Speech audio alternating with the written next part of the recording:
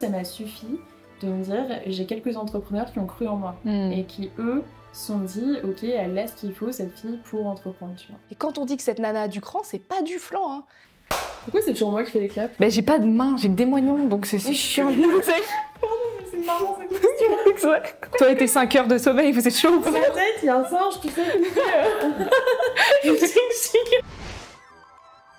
Laisse-moi te présenter mon invitée d'aujourd'hui qui n'a pas sa langue dans sa poche. Elle a su jouer des coudes et rebondir pour retomber sur ses pattes. J'ai le plaisir de te présenter aujourd'hui Alavès. Salut Maud, comment ça va? Hello, ça va et toi? Ça va, je te remercie. Je suis super contente de t'accueillir dans ce podcast. Euh, je me souviens quand on s'était rencontrés l'année dernière, euh, j'avais été très impressionnée parce Ouais. que je trouve que tu es une entrepreneuse brillante. J'aime beaucoup le contenu que tu crées, que ce, soit, que ce soit sur LinkedIn ou dans tes newsletters. Je trouve que c'est très qualitatif ce que tu proposes. Et j'avais été bluffée par à la fois ton organisation mais aussi ta détermination. Et euh, au cours de ce que tu avais pu me raconter, un truc que j'ai noté, j'ai l'impression que comme tu le sais, les diamants sont toujours créés sous la pression et ton parcours a été, euh, ma foi, marqué par plein de petits, euh, de petits tumultes et euh, je voulais savoir si tu étais prête aujourd'hui à nous partager ton vécu. Oh bah, Je sais pas de qui tu parles, mais elle est incroyable cette fille en tout cas. Tu vas l'adorer autant que moi, t'inquiète pas. Est-ce que tu peux te présenter à la caméra juste ici, s'il te plaît? Bien sûr. Euh, du coup, moi, c'est Maud Alves. Je suis coach en personal branding et aussi créatrice de contenu, euh, notamment sur le sujet du personal branding, où euh, j'explore donc euh, la question sur ma newsletter, notamment, qui s'appelle Les Personnes Mode. Aujourd'hui, il y a un peu plus de 11 000 personnes dessus. Et euh, sur LinkedIn, il y a 60 000 personnes aussi qui me suivent quotidiennement. Et après, j'explore aussi d'autres médias, type Instagram et YouTube, sur lesquels ma présence fluctue. N'est-ce pas? Ouais, de mes humeurs. N'est-ce pas? Et Qui sont ma détermination. Et qui sont très importantes dans la création de contenu, on connaît. J'ai une première petite question euh, pour toi, Maude. Dans quel environnement est-ce que tu as grandi? Est-ce que tu as grandi dans un environnement entrepreneurial, créatif? Pas du tout. Euh, pas du tout, du tout. Euh, mon père, il, travaillait chez Gaz de France. Donc lui a été salarié toute sa vie, il était manager, hein. Il a commencé ingénieur, il a fini manager. Et ma mère était data scientist en dernière nouvelle, mais sinon elle était plutôt dans le service qualité.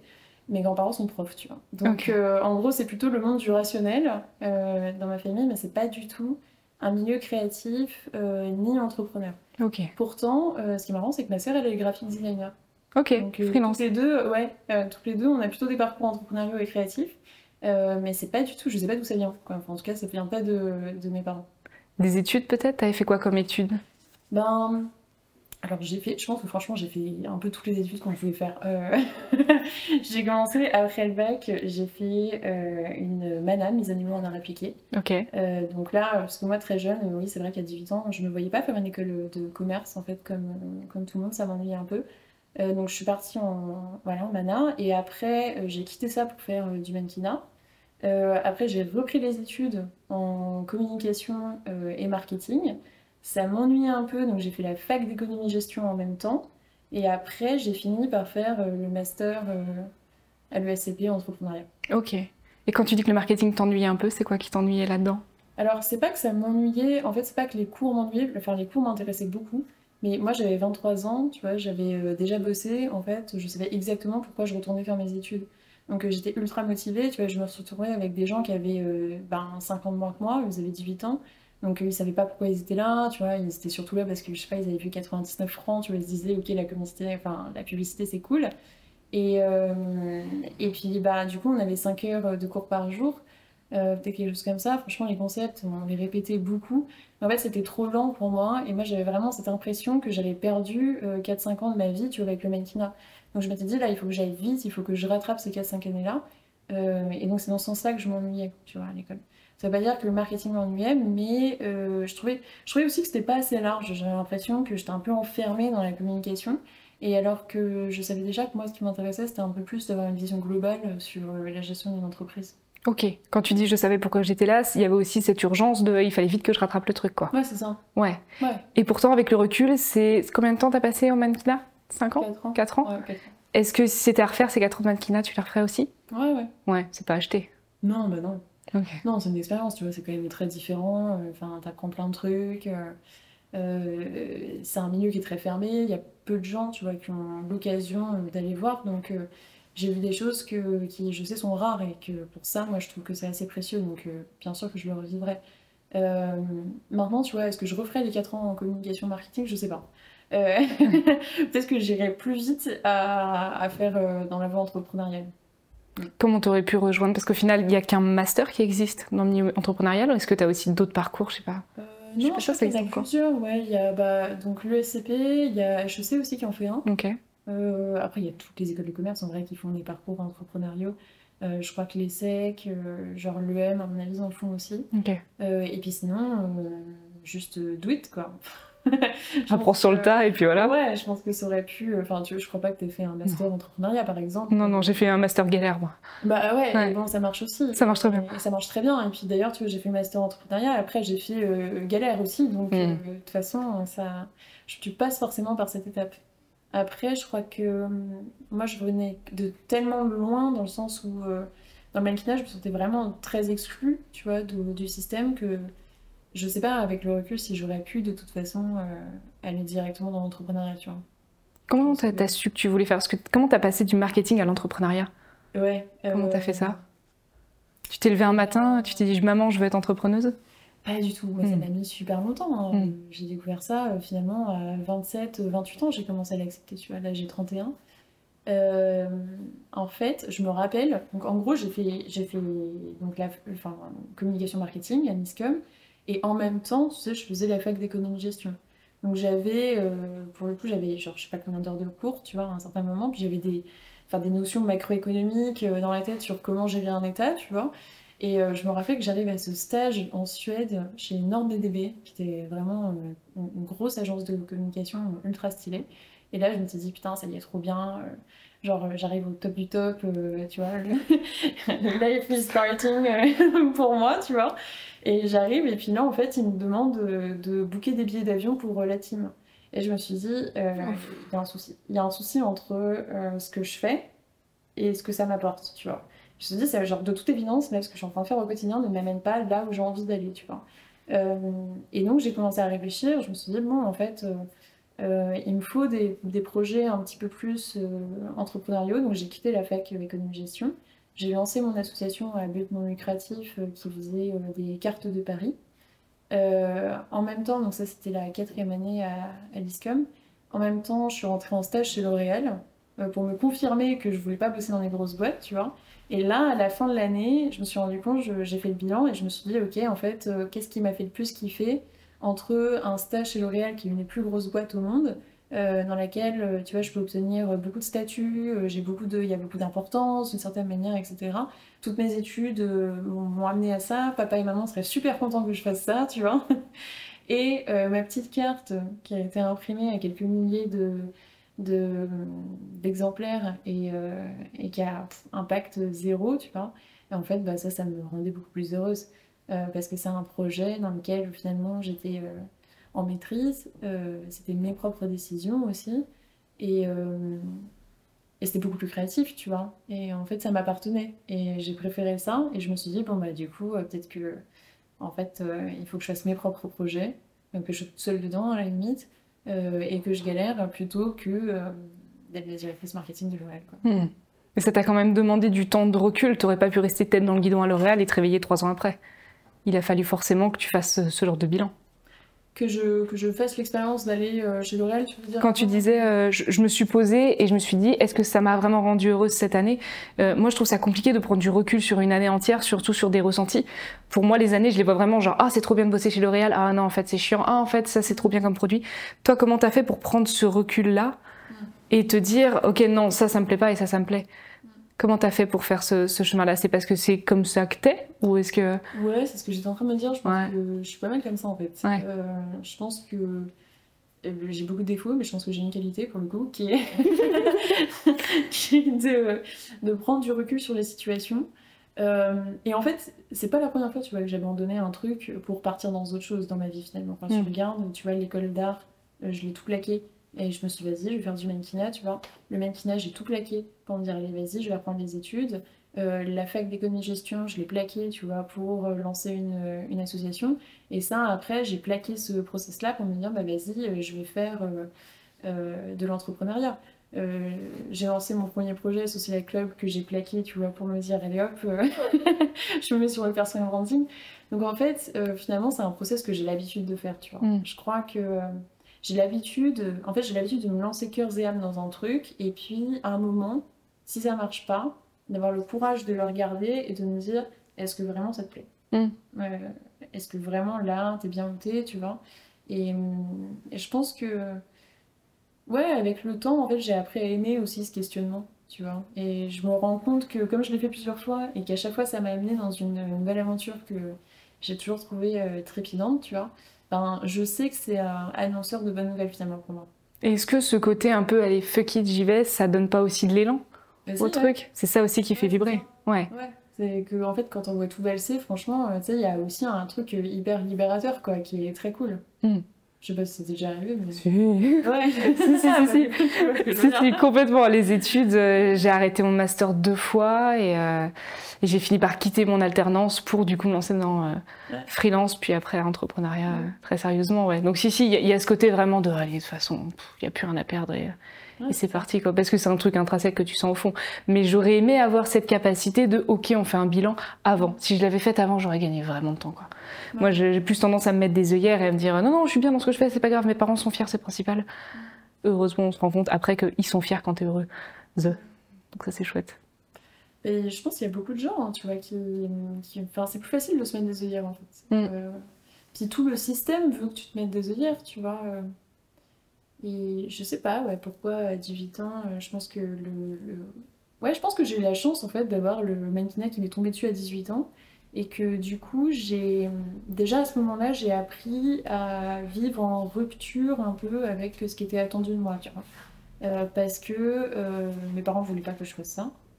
Mes potes aussi avaient peur que je fasse ça. Donc en fait, personne ne voulait que je fasse ça, tu vois, à part, à part moi. Euh, Toi, t'avais envie de faire, tu disais ça t'est tombé dessus, c'est quelqu'un qui t'a repéré?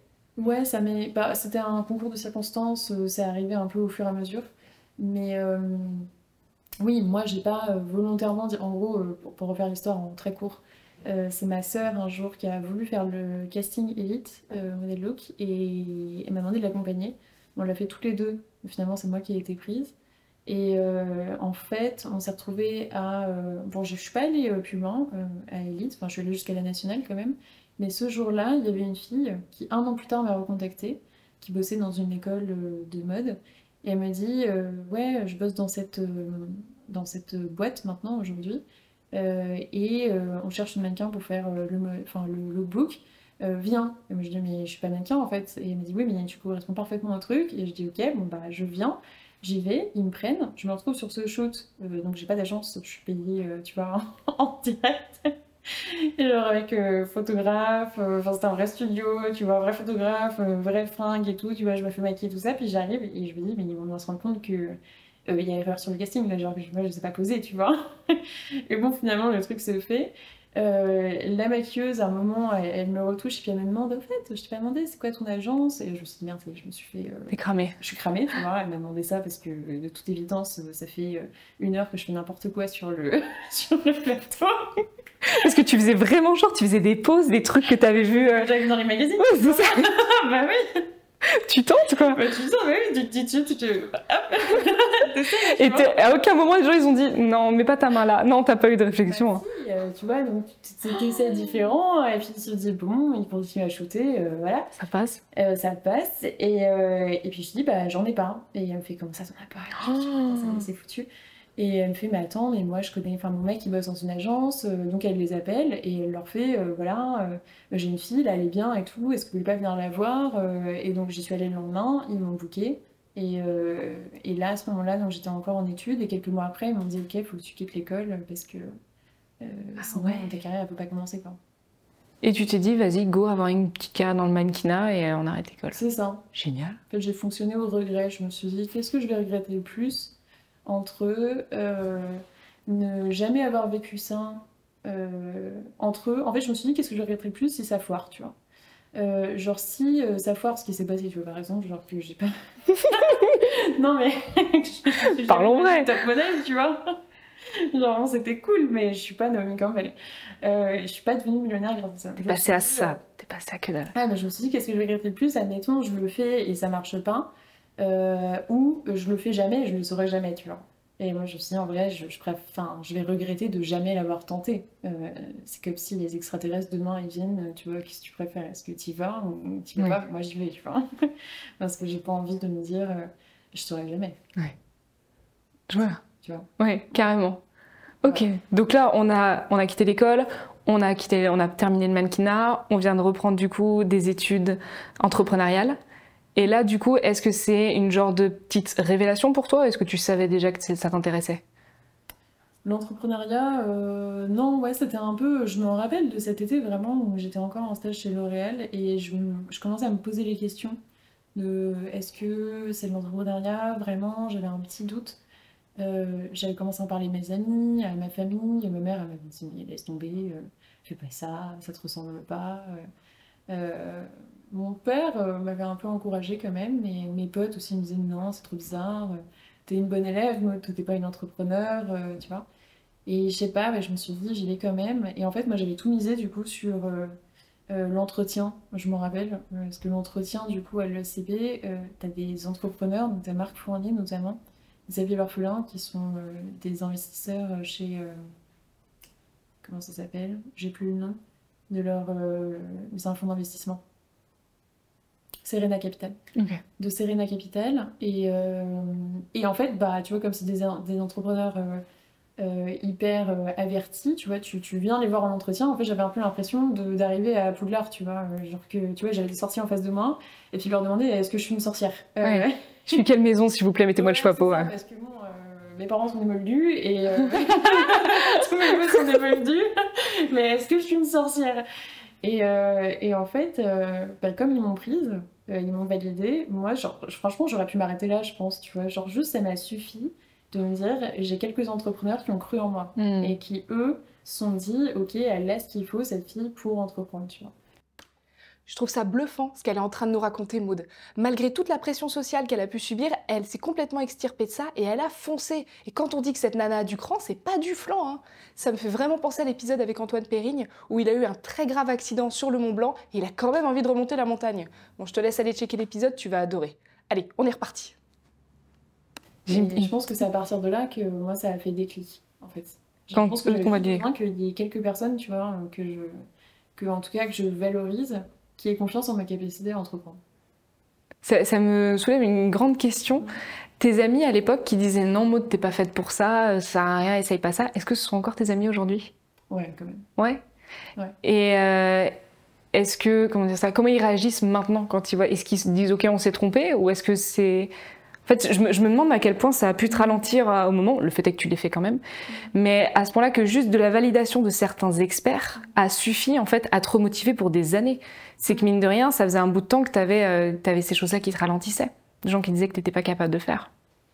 Oui, ou que finalement je m'étais jamais posé la question aussi. Mm. Euh, tu sais, quand même, avant j'étais le mannequinat, après je m'étais dit, bon, euh, euh, je vais faire des études, donc moi j'étais partie pour avoir une carrière de directrice d'une grosse marque, euh, tu vois. Donc en fait, euh, finalement, le moment où ils ont pas cru en moi, on pourrait dire, il a été très court, tu vois, parce que le moment où je leur ai dit, tiens, je pense à faire ça, et qu'il y en a certains qui m'ont dit, bah non, moi je, te vois pas trop, tu vois.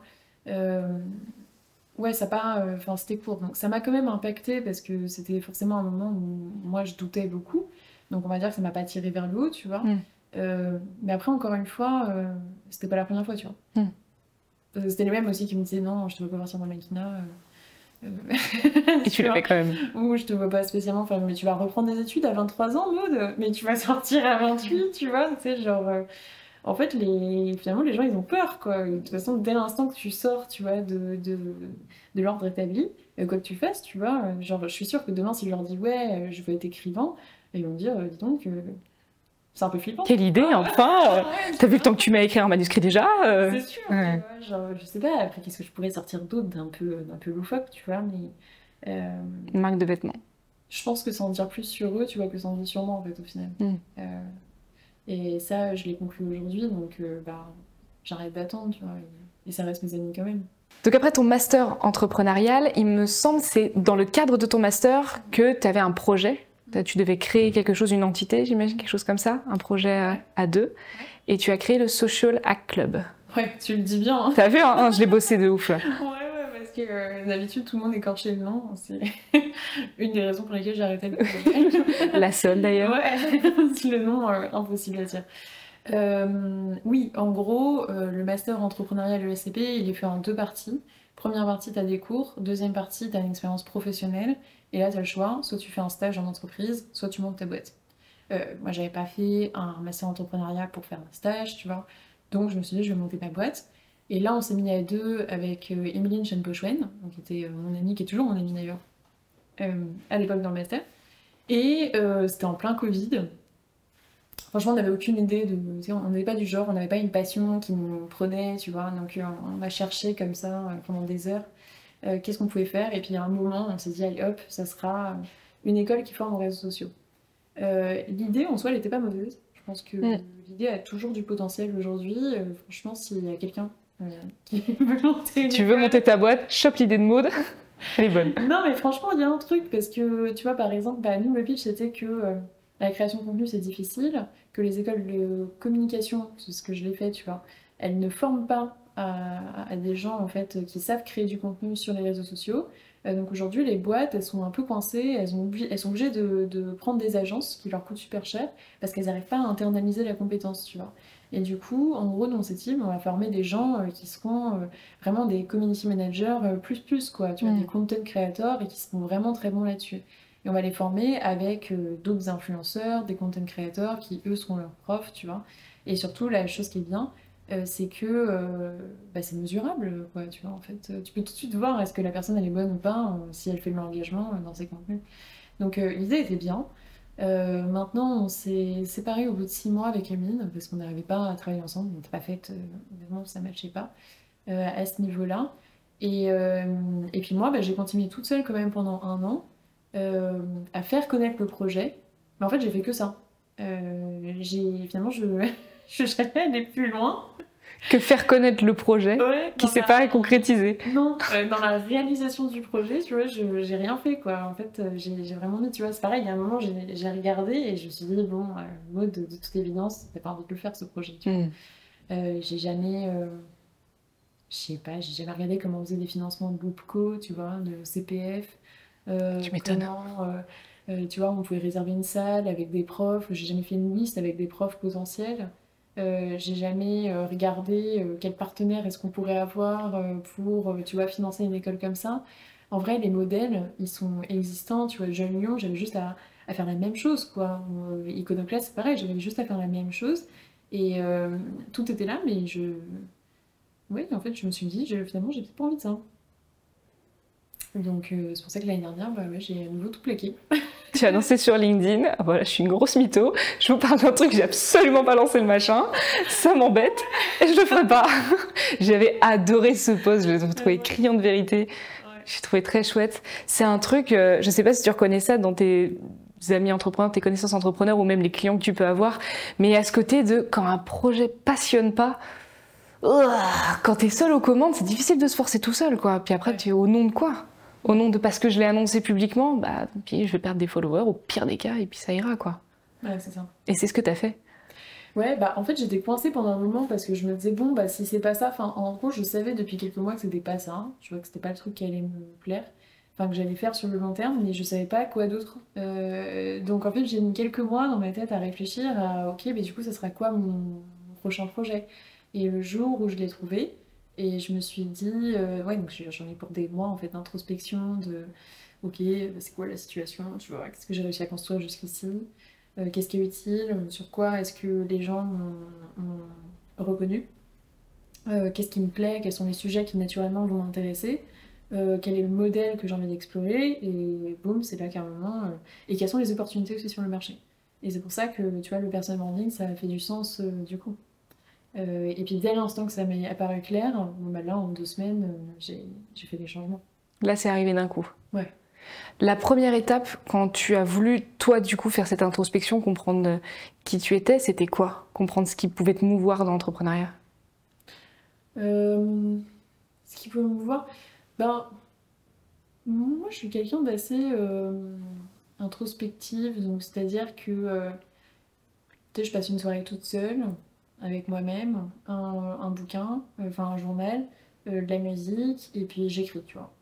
Et je fais le bilan comme ça et je me dis, ok, euh, vraiment, j'ai ça, hein, tu sais, j'ai- je les ai encore, que je les ai retrouvés il y a pas longtemps, genre, dans mon journal. Les grimoires. Ouais, mais où tu vois, je prends plein de feuilles blanches et puis je note, euh, bon bah voilà, qu'est-ce que j'aime faire, euh, tu vois, puis je note les sujets, euh, euh, sur quoi je suis forte, c'est quoi mon capital, quels sont mes objectifs, tu vois, donc là j'avais mis, ok, je veux faire 10 cas par mois, euh, qu'est-ce que je ne veux plus, tu vois, et c'est là que j'avais noté, bon bah je suis pas une CEO, genre une chief executive officer, tu vois, vraiment, genre la personne qui est capable de décrocher le téléphone pour appeler des partenaires, tu vois, ou gérer une crise de fuite d'eau, etc. C'est pas moi. Ouais. Je dis, moi, je, je, je suis pas une meuf terrain, tu vois, en fait, je... ça m'a mis du temps de me rendre compte de ça, mais je, ouais, je suis pas une meuf terrain, je suis une meuf qui aime, euh, qui aime réfléchir, euh, qui aime écrire, tu vois, qui aime... euh, en fait, je me suis dit, je suis beaucoup plus créative, tu vois, et donc c'est comme ça que j'ai commencé à noter ça. Et puis après, j'en ai parlé. Donc là, j'en ai parlé à d'autres. En fait, je pense que j'ai peut-être d'ailleurs, tu vois, maintenant que j'y pense, je pense que j'ai peut-être fait l'inverse. T'as commencé à en parler et après Ouais, t'as. J'ai commencé à en parler, mais en fait j'ai commencé à en parler très tôt et puis j'ai commencé à en parler en filigrane, tu vois. Et je pense que pendant des mois, tu vois, j'en ai parlé avec des gens un peu pour récolter de l'info. Euh, je me rappelle, je t'avais demandé à toi aussi.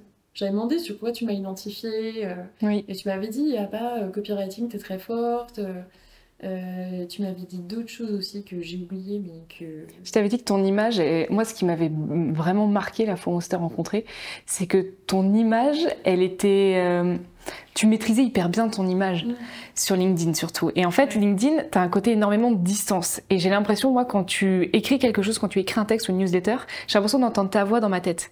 Et ce côté très posé, très comme un narrateur omniscient, tu vois. Je te raconte quelque chose, tu prends le truc.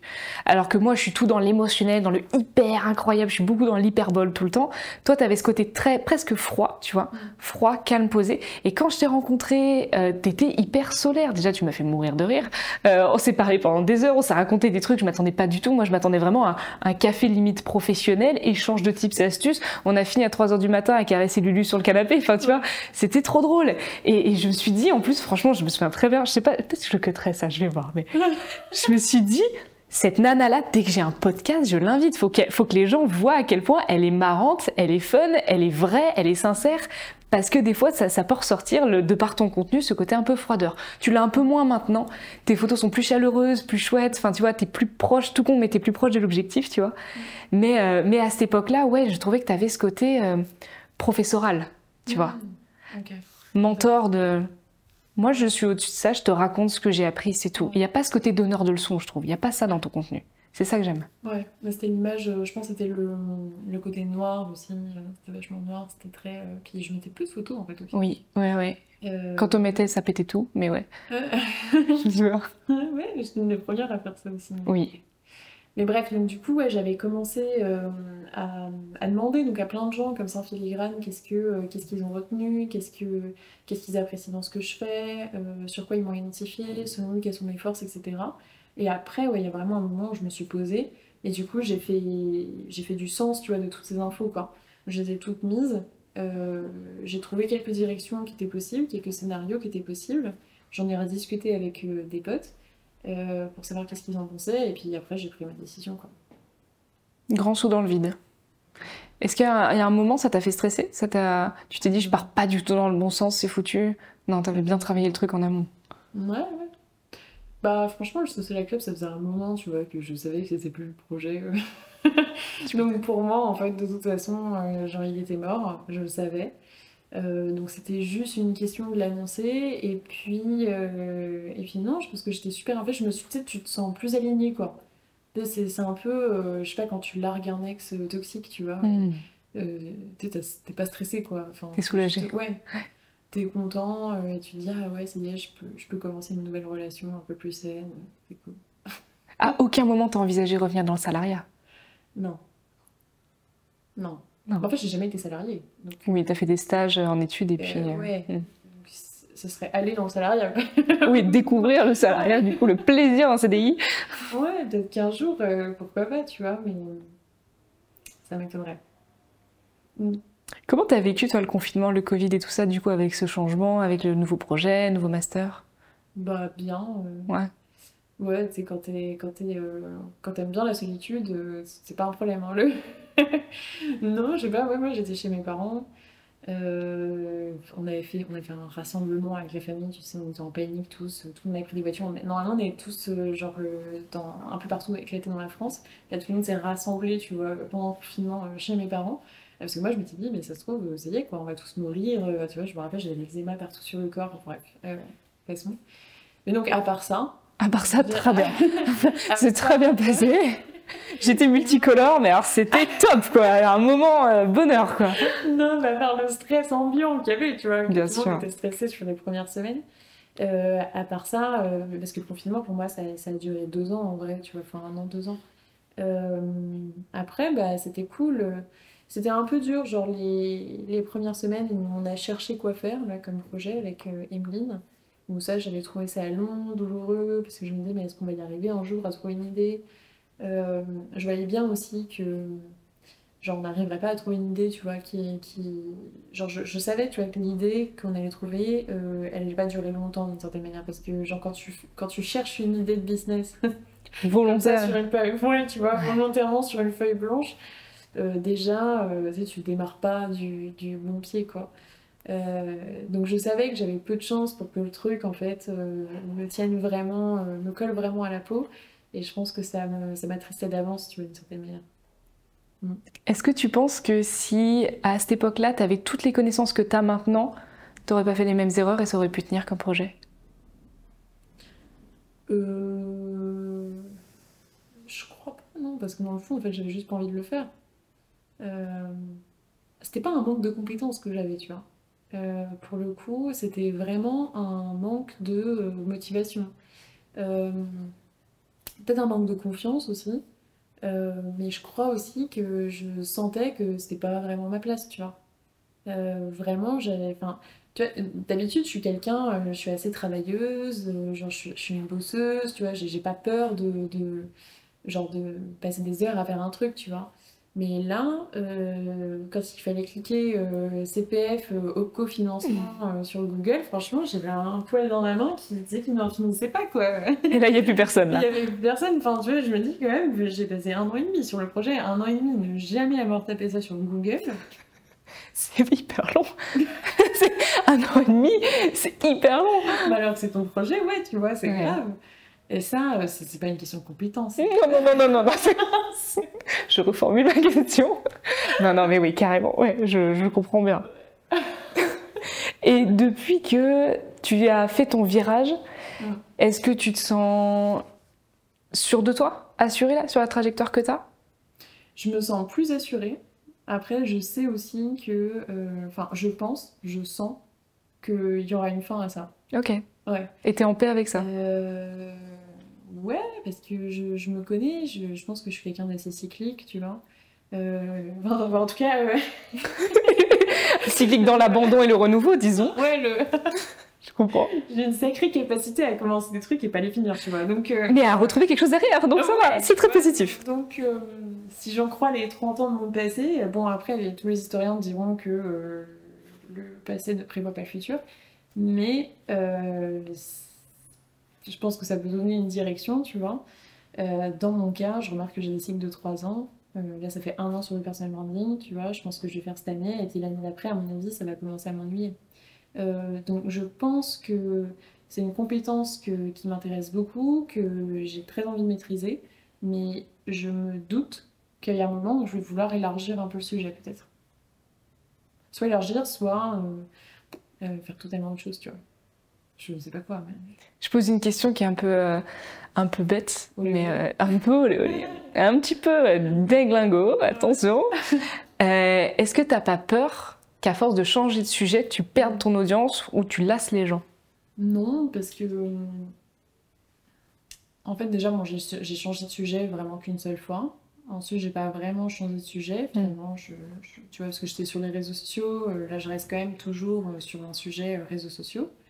Euh, et ensuite, euh, qui dit que pour mon, mon prochain projet ou ma prochaine phase, mon prochain cycle, j'aurai besoin d'une audience.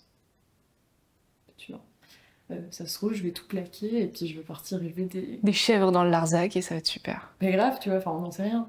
Non, mais sinon, de manière générale, j'ai pas peur. Enfin, en fait, j'ai confiance en ma capacité à reconstruire, tu vois, de zéro et ça me fait pas peur. Au pire, au pire, les gens s'en vont et puis tout ce que j'ai construit pendant deux ans, bon, bah, revient à zéro. Mais euh, c'est pas grave. Et après, deuxième chose, euh, je pense que je communique beaucoup quand même sur. euh, Enfin, bon, tu vois, là j'ai donné des éléments rationnels qui font que de toute façon, il y a plein de, il y a plein de scénarios dans lesquels ce n'est pas un sujet en fait. Et après, dans le scénario où c'est un sujet, c'est-à-dire que, admettons que en fait, je veuille me développer dans un modèle similaire, tu vois, et j'ai toujours envie de, de mon audience, bon bah là, il y a des moyens de faire des transitions quand même. Euh, je peux très bien, tu vois, capitaliser plus sur euh, l'histoire que euh, je suis une entrepreneur, euh, et puis de trouver des points connexes entre le prochain sujet que j'aurai envie d'explorer et celui que je fais aujourd'hui. Euh, ensuite, je pense que les gens, ils suivent aussi d'autres gens pour leur personnalité, tu vois, et puis leur histoire, justement, ils voient leur trajectoire, plutôt que pour leur expertise sur un sujet X. Euh, et donc, du coup, ça me fait pas peur, tu vois. T'es confiante en ta capacité à rebondir un peu comme un kangourou ou pas? Ouais, je pense, ouais. C'est le nom du podcast, c'est pour ça que ça me fait rire. Bah, euh, tu sais, au pire, euh, Juste la lenteur de... J'ai vu dans tes yeux que ça processait, j'ai laissé process. La headline, c'est t'as rebondi, tu nous racontes. Et je dis, ouais, tu vas rebondir. Comme un kangourou, là, faire, ouais, bah en fait, euh, ouais, tu sais, bon. Le kangourou, il est déjà à Annecy. Et après, t'as- Non, J'étais pas là. ça m'a fait trop rire. J'ai atterri finalement. Ah ouais. T'as atterri, finalement. J'ai atterri. quoi. Ok. Euh, mais du coup, j'ai perdu ce que je voulais dire. C'est dommage, ça avait l'air bien. Ça avait l'air pas trop mal, euh, mais je sais pas. Ouais, je sais plus là, du tout. Il y a une question qui me brûle les lèvres, Maud. Je connais un petit peu tes habitudes et euh, tes habitudes, si je peux aller hyper franchement, elles sont hyper zarbi.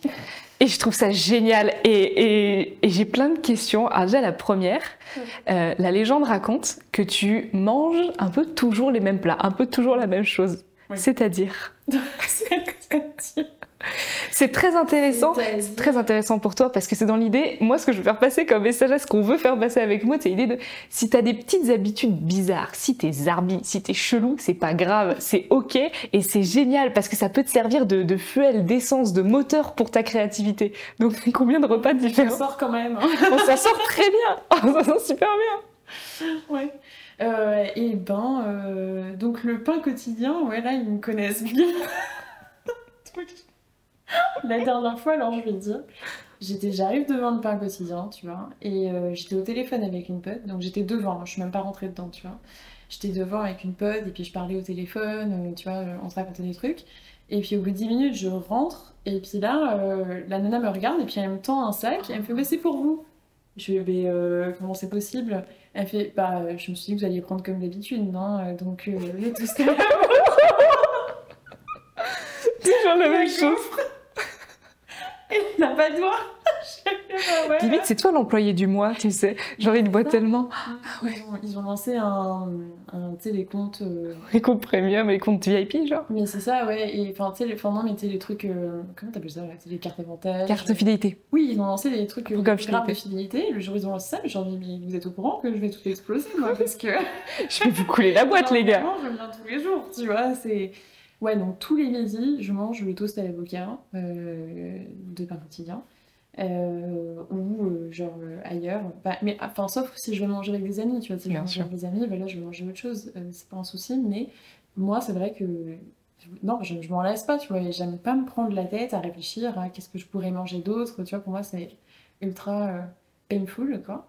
Et le soir, du coup, en général, c'est pareil, j'ai deux, trois restaurants qui me nourrissent. euh, Et c'est ok. Et en fait, je font la même chose que genre quand je commande chez eux, tu vois. Genre, c'est c'est pas juste les restaurants, c'est les plats, quoi. C'est le même plat du même resto. Ouais, ouais. Donc j'ai l'indien et je commande toujours le dal palak, là, tu vois, toujours le même truc. Euh, les pâtes à la palourde le soir. Ou, euh, ou le chinois aussi, que j'aime bien. Et c'est pareil, là, j'ai un assemblage de trucs que, que je prends tout le temps. Je Je les efface, tu vois, je les efface, c'est-à-dire qu'il y a des... Pendant une semaine, je peux faire que euh, indien, euh, l'autre semaine, je vais faire que les pâtes à la palourde, euh, la semaine d'après, je vais faire que chinois, tu vois, et, et voilà. Je trouve ça hyper drôle. Bah, beaucoup de gens trouvent ça hyper drôle. Mm. ouais. Les Deliveroo aussi, tu vois, qui arrivent, ils trouvent ça un peu. Ouais. Des les restaurants, ils ont tous un truc genre, ah, c'est encore elle, elle est encore elle. Je suis sûre qu'ils me reconnaissent. Et puis t'as des méthodes aussi de créativité qui sont hyper drôles. Moi je te vois vraiment comme une chauve-souris, tu vois. T'es, genre ta newsletter, tu l'écris du coup le dimanche soir, toute la nuit du dimanche, et tu l'envoies le lundi matin, donc tu la programmes évidemment.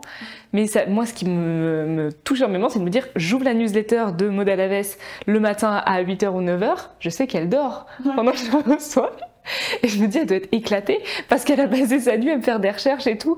Donc je Ouais. t'imagine en petite chauve-souris pendue à ton, à ton. Je vois en plus le, le- bah, on rentre dans des notions de personal branding, mais je vois ta bibliothèque, je vois la, il y a la photo que tu montres au moment où tu écris la newsletter, que ce soit mis en scène ou pas, c'est forcément attachant, tu vois. Euh, Il y a ce côté aussi où tu notes tout. T'as un, t'as un bullet journal, t'as des, des journaux, enfin de, pas des journaux intimes, ça c'est un peu la notion un peu adolescente, mais t'as des journaux intimes aussi. Tu notes beaucoup, t'écris beaucoup. Ouais. Euh, Il y a ta solitude aussi qui participe. Je trouve il y a toujours des mythes d'entrepreneuriat. Tu vois, il y a des, il y a, il y a le mythe, il y a le mythe Thibault Louis, il y a le mythe Oussama Hamar. T'as des mythes autour des gens comme ça. Et, euh, et le mythe que tu es en train de construire autour de toi, je le trouve super intéressant. Dans le sens, bah voilà, je, je travaille la nuit, j'écris toujours dans mes journaux, tout m'inspire.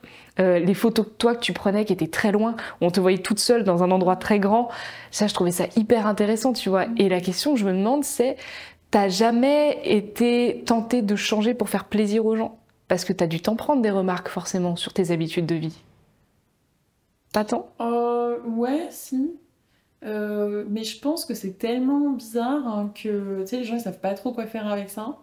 Et du coup, euh, genre ils abandonnent vite le combat aussi. Ok. En fait, j'ai remarqué, ouais, étonnamment, genre quand t'es. euh, tu sais, c'est un peu comme si genre il y avait une, une road sur, enfin, une route sur laquelle principale tout le monde est. Si t'es un petit peu à côté, tu vois, les gens ils vont dire non, tu reviens, quoi. Et là, la pression va être très forte. Par contre, si t'es très à côté, tu vois, euh, on va dire ah, c'est bizarre, on va te questionner, mais on va pas euh, vouloir trop te ramener non plus, tu vois. Euh, et puis après, je sais pas, je pense que la pression sociale, je la vis de moins en moins. Je pense que j'ai appris beaucoup à, dire fuck it, tu vois. Donc, ouais, peut-être qu'il y a des gens sur l'alimentation qui, qui ont pu me faire des réflexions, mais je pense qu'ils voient très vite aussi que c'est peine perdue. Euh, c'est vrai que j'ai des potes parfois qui, qui me disent Ouais, tu me fais rire et tout, et pourquoi tu fais ci, et pourquoi tu fais pas ça, et puis je leur réponds en fait, et j'ai un, j'ai des arguments solides et rationnels, tu vois, euh, qui font que bah non, j'ai la flemme. Juste pour- C'est très rationnel. Mais il faut être vachement forte de caractère, tu vois. faut être vachement forte de se dire, bah non, c'est comme ça que je. Enfin, je, je, enfin, forcément, je, je, je me projette sur toi, tu vois. Et je projette mes peurs. Et moi, ma peur, ce serait de pas être en paix avec moi-même. Parce que pour les autres, ok, t'es fort, tu, tu blagues à propos de ça, ça va. Mais je pense qu'à force d'avoir trop de remarques, je finirais par me dire, j'ai un problème, je suis trop bizarre, je suis pas comme tout le monde. Et toi, j'ai pas l'impression que t'aies déjà eu ces questionnements-là, du tout. Si, je pense qu'en fait, euh, je pense que ça me- je l'utilise autrement, c'est-à-dire que euh, ça me, ça me crée une espèce de colère, tu vois, ou un sentiment d'injustice, et du coup, je l'exorcise sur LinkedIn quand même, tu vois. Oui. Euh, finalement, genre dans ma création, euh, genre justement, je trouve que quand on vient trop me casser les pieds sur un sujet, bah en fait, moi je c'est très bien, tu vas d'en faire un post, et, et moi ça me permet de l'exorciser. Et là-dedans, bon, bah, ça va reproduire ce qui se passe dans la société où effectivement il y a plein de gens qui vont dire mais non, c'est pas normal, euh, blablabla. Et après il y en a plein d'autres qui vont dire ah bah bravo, euh, moi aussi je suis comme toi, tu vois. ou, euh, et en fait, euh, du coup, tu te dis bon, bah en fait, voilà, il y a plein de manières de vivre et puis, et puis je suis ok avec ça. Et puis dès l'instant en fait aussi que tu assumes quelque chose publiquement, je trouve que intérieurement, il se passe quelque chose où tu es beaucoup plus à l'aise en fait, tu vois. Du coup, après, tu te dis, ok, bah c'est bon, je vais assumer devant euh, les 100 000 personnes qui l'ont vu. Oui, c'est ok. Et du coup, en fait, quand il y a quelqu'un qui vient le voir, après, il est tout seul. Ouais. ben, Ça fait moins de en force, ouais. fait, ouais. Tout d'un coup, tu vois, genre, ça a beaucoup moins de, beaucoup moins d'impact, je trouve. Oui. Euh, donc moi, je dirais plus que, euh, tu sais, que la colère, quand elle s'inverse, ça devient de la dépression et du doute, etc. Mais par contre, la colère, c'est aussi un super bon moteur de création. Euh, et moi, donc quand il y a des choses qui m'énervent, en général, euh, justement, je les, je les utilise plutôt pour les, pour les sortir, tu vois, que de les re-rentrer à, à l'intérieur de moi. Que les renflouer, ouais. Ouais, ouais. Carrément. Et je pense que c'est ça qui, qui fait que du coup, euh, euh, je tombe pas dans le piège du euh, ah, je me sens, je me sens pas bien, je me sens mal, tu vois. Bah, ça veut pas dire que sur tous les sujets, Non, comme ça, bien sûr, non, non. tu vois, j'ai des doutes aussi. et- Il y a de trucs sur lesquels je suis moins à l'aise. Euh, mais du coup, dès qu'il y a des trucs justement où je suis pas à l'aise aujourd'hui, euh, bah, je vais plutôt aller euh, chercher à les confronter. Et après, à me dire, ok, bah, allez hop, je vais, je vais essayer de les exorciser, tu vois. Et comme ça, au fur et à mesure, j'ai l'impression que ça, ouais, ça te solidifie en fait, d'une certaine manière. Oui. Mm. Donc si je résume un petit peu, être un peu différent, être un peu zarbi, être un peu chelou, c'est ok. Avoir des cycles aussi, ne pas être toujours constant dans ce qu'on aime, c'est ok. Et euh, poser des limites, se servir de la colère comme moteur, euh, c'est ok. Beaucoup de choses qui sont ok au final. C'est utile aussi. Et c'est très utile. Et c'est très très utile.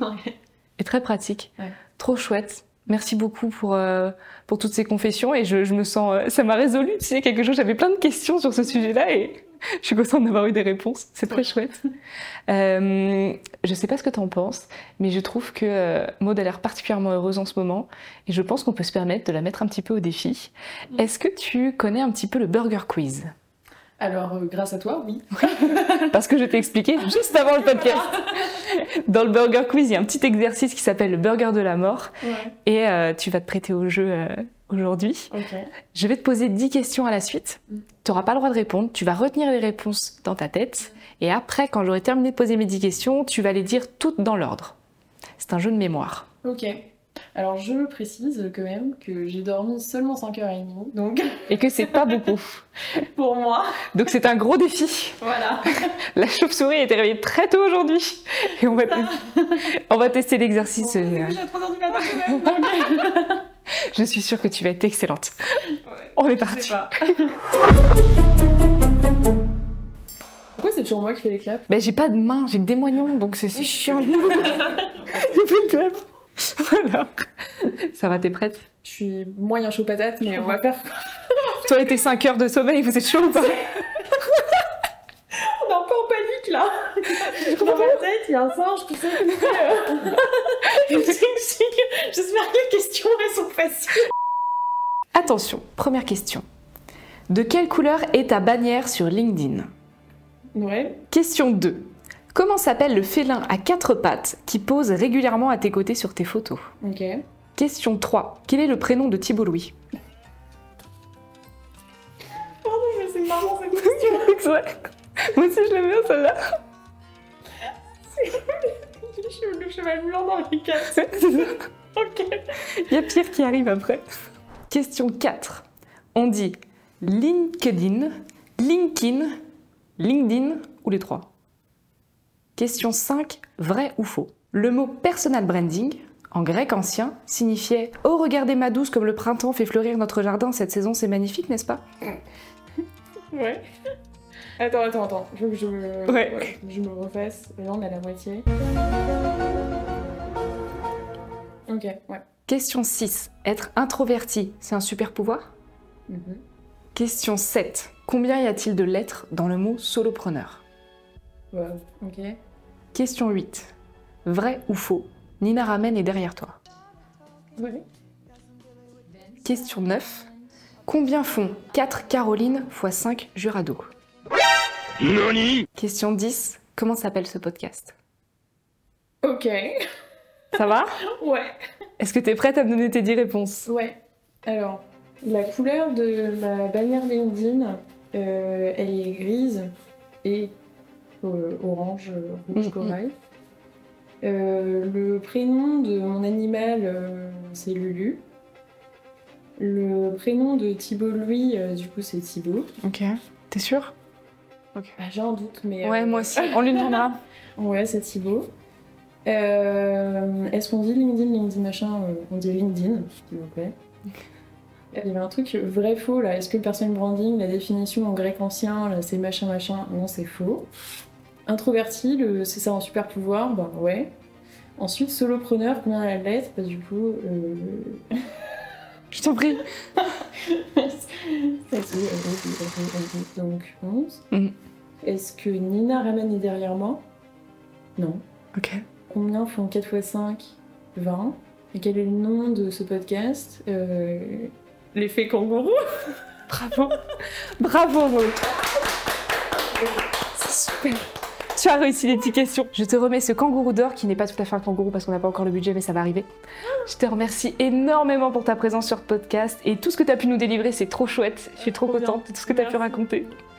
Et tu vas pouvoir remercier directement tous ceux qui t'ont soutenu, ta famille, directement à la caméra juste ici. J'ai l'impression de faire un, pour le coup un vrai discours de comme si j'avais gagné aux Oscars, mais euh, sauf, que, sauf que j'avais pas prévu de gagner. Et que j'avais vraiment dormi 5 heures. Je vais remercier du coup euh, toutes les personnes qui m'ont soutenue dans ma vie jusque-là, grâce à qui ce projet a été rendu possible. Notamment Valentine Soda, Le projet de répondre à 10 questions. le caméraman. Je remercie vraiment chaleureusement. Mademoiselle qui m'a donné de l'eau, vraiment. Jusqu'ici, c'était incroyable. Roulis pour cette fin. Ensuite, mes parents sont Sans que rien ne serait arrivé. J'aurais jamais été là. Euh, ma sœur et tous mes amis. Voilà. Merci beaucoup, Maud. C'est magnifique.